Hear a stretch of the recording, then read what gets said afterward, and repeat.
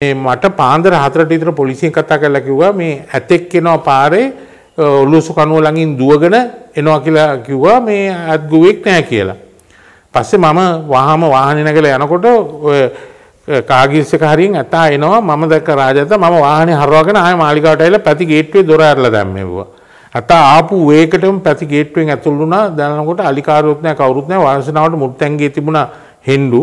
මම මේ හෙන්ඩුවක් අරන් හිමීට කරේ තිබෙන මේ දංවල බිමට දාගෙන එතන අල්ලිය ගහක් තිබ්බා මොකද රාජතා මට හුරුයි හඳුන්නේ. ඉතින් මම අතාව ගැට ගහලා මොකනකොට එතන පොකුණක් තිබ්බා දැන් නෑ ඒ පොකුණේ මෙයා වතුර ගහගත්ත එකට මලනකොට කකුලේ පිටිපස්සේ ලේ.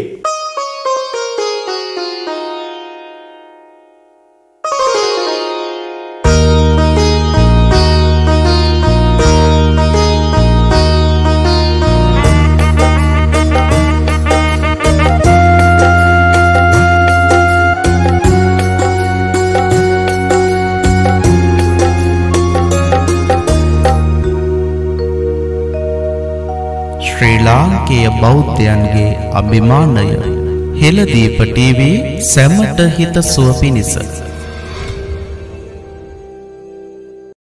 ඔබතුමා හරිම ලෙන්ගතු සහ හරිම මිත්‍රශීලයේ අලියතුන්ට ඒ පිළිබඳව අපි හොඳ ආකාරම දන්නවා. ඒ නිසා මා කැමති මාලිගාවේ ඇත්පන්තියේ හිටපු ප්‍රබලතම හස්තිරාජයෙක් තමයි බෝසත් රාජා හස්තිය. ඒ පිළිබඳව අපේ හදනේ මහනුවරගේ රජවරු හිටියා රජවරුන්ට ඇත්පන්ති තිබුණා. දල්දා වහන්සේ වෙනුවෙන් පෙරහැර කරා දියවඩනිවරු හිටියා මහානායක ස්වාමින් වහන්සේලා හිටියා. නමුත් අකණ්ඩව වසර 50ක් සේවය කරන්න කාටත් අවස්ථාව ලැබුණේ දළදා මාලිගාවේ රාජහස්තියට අවුරුදු 50ක් දළදා වහන්සේ වෙනුවෙන් පෙරහැරේ කරනු වඩම්මන්න ඒ වරප්‍රසාදය ලැබුණා. මොකද රාජා ඇතා ඇල්ලුවේ 1913 එරවුරුවල උමාර් ලෙබ්බේ කියලා කෙනෙක් අල්ලලා මේක වෙන්දේසිය ගිහිල්ලා මාම්පිටිය දිසාව විසින් ඇත්තු දෙන්නෙක් සල්ලිවලට ගත්ත රුපියල් තුන්දස් පන්සීයකට තුන්දස් තුන්සියකට රාජ ඇතයි ස්කන්ධ ඇතයි කියලා. ඉතින් මේ ඇත්තු දෙන්න අරගෙන මාම්පිටිය දිසාව නුවර ගෙනල්ලා මේ ඇත්තු දෙන්න බලාගෙන ඉද්දි එතුමා වයසින්ද දරුවොත් නෑ එතුමා තීරණය කරා මේ ඇත්තු දෙන්න දල්දා මාලිකාවට පූජා කරනවා කියලා. එක්දස් නමසය තිස්සත්තේ ජූන්ලී තිස්සෙක් වෙන්දා ටීබී රත්වත්ත දීවන්නමය කාලෙ තමයි දල්දා මාලිකාවට රාජහස්තියත් ස්කන්ධා හස්තියත් පූජ කරේ. ඒ පූජ කරලා එදා ඉඳලා දල්දා පෙරහැල්ට රාජ ඇතා සම්බන්ධ වුණා. රාජ ඇතා එක්දස් නම්සේ තිස්සතේ ඉඳලා එක්දස් නමසි අසු හත වෙනකං සම්බන්ධ වුණා පෙරහැල්ට.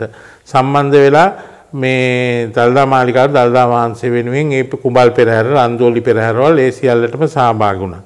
එක්දා සමසි අසු අටේ ජූලි දාසි තමයි රාජ ඇතා නැති වුණේ අපේ හඳුන්නේ. එතකොට රාජ ඇතා මාලිකාවට නැතිවෙන් ඉස්සල ඒ ඇතාට පොඩි ප්‍රශ්නයක් ඇති වුණා මොකද එක්දස් නමසි අසූ හතේ ජනවාරි පළවෙන්දා දල්ලා මාලිකාව රංගෙන හදපු අවුරුදු නිවාස වර්ෂය වෙනුවෙන් උදේ මාලිකාවට රාජ ඇතා එනකොට මේ මට පාන්දර හතරට විතර පොලිසියෙන් කතා කරලා කිව්වා මේ ඇතෙක් එනවා පාරේ ඔලුසු කනුව ළඟින් දුවගෙන එනවා කියලා කිව්වා මේ අත්ගුවෙක් නැහැ කියලා. පස්සේ මම වහම වාහනේ නැගලා යනකොට ඔය කාගිස්සක හරියෙන් ඇතා එනවා මම දැක්ක රාජත මම වාහනේ හරවාගෙන ආයෙ මාලිගාවට ඇවිල්ලා පැති ගේට්ටුවේ දොර ඇරලා දැම්මෙව්වා. ඇතා ආපු වේකටම පැති ගේට්ටුවෙන් ඇතුල් වුණා. දැනනකොට අලිකාරුවත් නැහැ කවුරුත් නැහැ වාසනාවට මුර්තැන්ගේ තිබුණා හෙන්ඩු. මම මේ හෙන්ඩුවක් අරන් හිමීට කරේ තිබෙන මේ දංවල බිමට දාගෙන එතන අල්ලිය ගහක් තිබ්බා මොකද රාජතා මට හුරුයි හඳුන්නේ. ඉතින් මම අතාව ගැට ගහලා මොකනකොට එතන පොකුණක් තිබ්බා දැන් නෑ ඒ පොකුණේ මෙයා වතුර ගහගත්ත එකට මලනකොට කකුලේ පිටිපස්සේ ලේ කකුල් දෙකේ. පස්සේ මම විජහම් පොලිසියට කතා කරලා මං කිව්වා ඇත්ගෝව හොයන්න කියලා. පස්සේ පොලිසියෙන් පෙරදිනීට නිකන් පාර දිගේම හෙව්වා කොහෙවත් ඇත්ගෝව හොයාගන්න නෑ. පස්සේ මේ පොලිසියට කිව්වා ඉස්පිතාලේ බලන්න කියලා. පස්සේ බලනකොට පොලිසියෙන් කතා කරලා කිව්වා මෙහෙම පාරේ වැටලා හිටියා කියලා ජීප් එකකින් ගෙනල්ලා ඇතුල් කරලා ගිහිල්ලා තියෙනවා කියලා. ගිහිල්ලා බැලුවා නම් ඇත්ගුවා මැරිලා.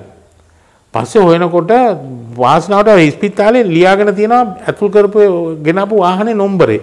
අර මේ ආරක්ෂක අංශයක් කෙනෙක්. පස්සේ ඕක අනුව පොලිසියෙන් හොයනකොට අපිට දැනගත්තා හාමුදා ජීප් එකක් රෑ මේගොල්ලෝ 31 රෑ කොහෙද ගිහිල්ලා මේ මේ මේ මොකක් මොකක් හරි මේකකට මත්පැන් අරගෙන ඇවිල්ලා බ්‍රෑ මේ පිටිපස්සෙන් ඇතාගේ හැප්පුවා. හැප්පෙනකොට ඇතාටයි ජීප් එකටයි පිටිපස්සේ තද වෙලා තමයි ඇත් ගෝවා එතන මැරිලා. පස්සේ තමයි අත්ගුව මොව කරලා තින්නේ පාරේ තිබ්බ අඩි ප- මෙවුවා බලනකොට අතා අඩි 20ක් ඉස්සර ඉස්සරහට විසි වෙලා. කළා වැටිලා පාරේ තියෙනවා නියපොතු පාරවල් එහෙම ඔක්කොම වැදිච්ච ඒවා. පස්සේ එහෙම ඇවිල්ලා අතට පස්සේ ඊට පස්සේ ඉඳලා රාජාතට ටිකක් බුදු- අමාරු වුණා. නැගිට ගන්න එහෙම. එක සැරයක් වැටලා නැගිට ගන්න බැරුව පස්සේ අපි අ, වෛද්‍ය අ, විජිත කුරුවිට මහත්තයා එහෙම ඔක්කොම එක්කව වෙලා ඔය රාජාතාව අපි සම්පූර්ණයෙන්ම ක- මහවැලි එකේ ක්‍රේන් එකක් ගෙනල්ලා උස්සලා මේ මේ මේ නිල නිවාසයේ ඉස්සරහා මාලිගාවේ. ඔය අද තියෙන නිල් නිවාසයත් මාලිගාවට මං තමයි ඉන්න කාලේ ගත්තේ. ඔක ගොඩනැගිලි දෙපාර්තමේන්තුව යටතේ තිබුණේ. ඒ නිසා භූමියම රාජාතාවත් බැඳලා තිබුණා. ඉතින් අන්තිමේදී 88 පෙරහැරේ අපිට ගෙනියන්න බෑ මොකද මේ අතාර නැගිටින්න බෑ වෙනම පොල් කොට වලින් ආරුක්කක් හදලා ඒක ඇතුලේ තමයි හිටියේ වෙනම නාවන්න පොකුණක් හදලා දුන්නා. ජනාධිපතිතුමා අරමුදලෙන් ජයජයවර්ධන මහතා ඉතින් රාජාතා ජාතික වස්තුවක් හැටියට ප්‍රකාශ කරලා තිබුණේ. ඉතින් මොකද ලෝකේ ජාතික වස්තුවක් හැටියට ප්‍රකාශ කරපු දෙවෙනි ඇතා තමයි රාජ ඇතා. නමුත් හීල ඇතුන්ගෙන් පළවෙනිය. මොකද පළවෙනිම ලෝකේ ජාතික වස්තුවක් හැටියට ප්‍රකාශ කරලා තිබ්බේ අහමඩ් කියන ඇතා කින්නියාවේ. ජුමෝ කින්නියට ජනාධිපති විසින් මේ අහමඩ් කියන ඇතාව ජාතික වස්තුවක් හැටියට ප්‍රකාශ කළේ ඇතා මිය ගියාම ඒ ඇතාගේ අනුරුවක් හදලා නයිරෝබි කෞතුකාගාරයේ තියෙනවා නමුත් ඒක හරි පෙනුමක් නැහැ. මම දැන් ඔ- ඔය අව- අවස්ථාවේදී තමයි රාජතා අසනීපෙන් ඉන්නකොට අ, ම- මං ඔ- මේ ඔය ඇතාගේ දිග පල්ල ඔක්කොම ඇගේ අරන් තියාගෙන හිටියේ. උස අරනවා මෙව්වා. මම එක්දස් නමසය අසු අටේ මාර්තු විසිපහ ඉන්දියාවට ගියා. මානායක හඳුරුත් එක්ක අර මොකද අසු හතේ ඉන්දුලංකා ගියුස්මත් එක්ක ඉන්දියාව එක්ක තරහ වුණා රජීව් ගාන්ධි අගමැතිතුමාට ගහලා ওই සම්බන්ධයත් එක්ක අපි බුද්ධ ගයාත් යන්න බැරි ඉඳන් ඉන්දියාවට ගිහිල්ලා අගමැතිතුමා හම්බෙන්න ගියා. මායි පලිපන්න චන්දනන්ද හඳුරෝ විපුලසාර නායක හඳුරෝ අපි ඔක්කොම ගියාම අගමැතිතුමා හම්බුනාම මම අගම මේක මතක් කරලා මේ නැවත ආයේ බෞද්ධ සම්බන්ධතා ගොඩනගලා මා අගමැතිතුමාට කිව්වා ඒ වෙනුවෙන් අපිට ඇතෙක් පූජා කරන්න මාලිගාවට කියලා. මම ලියුමත් හරි ගස්සලා දුන්නා. පස්සේ ඒ ඒ ඒ ඒ ඒක එතුමා බාරගත්තා. ඉතින් එතකොට එතුමාම මට දුන්න පොතක් අලි ගැන ඒ පොතේ තිබ්බ මේ අහමඩ් කියන ඇතා ගැන. පස්සේ මම ඕක ඇවිල්ලා මේ මොකල අදහස් දීලා රාජාතා නැති වුණාම මම ජයජයවර්ධන ජනාධිපතිතුමාට කියලා එවලෙම කෞතුකාගාර මේකට දන්නලා තෙල්ම ගුණවර්ධන මහත්තයා ලව්වා ඇවිල්ලා ඕකේ මේ අ, කෞතුකාගාර දෙපාර්තමේන්තුවෙන් ඊට පස්සේ රට රාජා රාජාතාගේ අනුරුව සකස් කෙරුවා. ඔය එත- අතාගේම හැම හිස් කබල ඇද්දල. නමුත් මේක හදලා කොහෙද තියන්නේ? මාලිගාවේ තියන්න තැනක් නැහැ. පස්සේ මම කල්පනා කරනකොට අ, එතන තිබුණා ගොඩනැගිල්ලක් ඔය මගුල් මඩුව ළඟ සිංහාසන මන්දිරය කියලා. මේ ගොඩනැගිල්ල හදලා තිබ්බේ ශ්‍රී වික්‍රම රාජසිංහ රජුණන්ගේ ඔටුන්නයි සිංහාසනේ ගෙනල්ලා තියන්න. නමුත් දෙවන රාජසිංහ රජුණන්ගේ ඔටුන්න නුවර කෞතුකාගාරයේ තිබිලා 1960 ගණන් වල හොර හොරගම් කෙරුවා. ඊට පස්සේ මේගොල්ලෝ බය වෙලා නුවරට ගෙනාවේ නැහැ රජුණන්ගේ ඔටුන්නයි සිංහාසනේ කොළඹ කෞතුකාගාරයේ තිබුණා. නමුත් මේ ගොඩනැගිල්ල වහලා දාලා තිබුණේ කෞතුකාගාර දෙපාර්තමේන්තුව. මං කිව්වා මේ ගොඩනැගිල්ල අපි අරන් රාජාතාගේ මේක හ- ස- අනුරුව සකස් කරමු කියලා අර දිගපල්ල අනුවම අත- රාජාතාගේ අනුරුව සකස් කරලා මේ පාලිත සමර පෙරමයි තව අපේ අ, අ, මේ කෞතුකාගාර දෙපාර්තමේන්තුවේ සොයිස කියලා කෙනෙකු මේ කට්ටිය එකතු වෙලා තමයි මේක සම්පූර්ණයෙන්ම හැදුවේ. ඉතින් අ, මම අර ද- අතා හොඳ එක පුරුදු වුණ නිසා අතාගේ දකුණු දල පාතයි. ඉතින් ඒ ඒ විදිහට මෙව කළා අතාගේ අර කඳුළු එන එක එහෙම ඔක්කොම මෙව කළා අර අතාගේම හැම අරව මෙවුවා. ඒකත් එක්ක අතාගේ පරණ පින්තූරු අතා පාවිච්චි කරමු අලියඳුන් ඇත් කුප්පු අරම සියල්ලම මේ කෞතුකාගාරයේ තැන්පත් කෙරුවා. ඉතින් බලන්න අපේ හඳුනේ රාජ්‍යරංගේ සිංහාසනේ තියන්න අ, තිබ්බ තැන අද තියෙන්නේ අ, රාජ ඇතා කරඬුවේ සිංහාසනේ. ඉතින් ඇතාගේ ඔටුන්න තමයි කරඬුව. ඉතින් අද රාජතා තමයි සිංහාසන මන්දිරේ ඉන්නේ. ඉතින් අද රාජතා එදා වල්ලා දැම්ම නම් අද කිසි කෙනෙකුට බලන්න හම්බෙන්නේ නැහැ. ඉතින් රාජතා දැන් නැති වෙලත් අවුරුදු 34ක් වෙනවා. ඉතින් මම හිතන්නේ ලංකාවේ පළවෙනි වතාවට ඇතෙක්ව සංරක්ෂණය කරේ ඔය රාජතා. ඉතින් ඒ වෙලාවේ ඔක්කොම බය වුණා ඔකට අත ගහන්න. ඊට පස්සේ අතාගේ හැම ගල්ලා අපිට දාගෙන ගිනියන්න විදිහ නැතුව මම ඒ කාලේ ජනාධිපති කතා කරලා සිංගප්පූරුවේ අලුම් ගෙනල්ලා වෙනම ඔය මේ පසු වෛද්‍යාංශයේ කට දොස්තරලා ලව්වා තමයි හැම එහෙම අයින් කළා ඔක්කරේ මට බැන්න අතා හැම ගහන්න හදනවාද කියලා. නෑ මං ඒ කරා ඒ වැඩේ කළා අතාගේ ඉතුරු ටික මාලිගාවේ නිල් නිවාස ඉස්සරහම මම වල්ලැව්වා. වල්ලා සෝනකුත් බැන්දා.